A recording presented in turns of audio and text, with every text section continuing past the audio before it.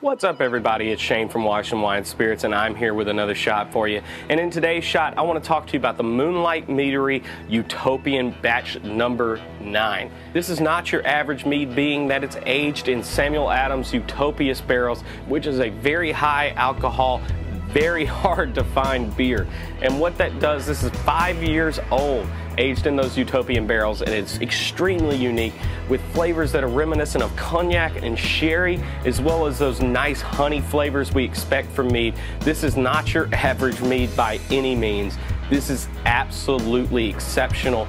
And if you're looking for something that's over the top while being very unique, very rare, and just delicious. This is a great product for you. So be sure to come by the store and check it out. And as always, thank you for letting us be your spirits guides here at Washington Wine and Spirits.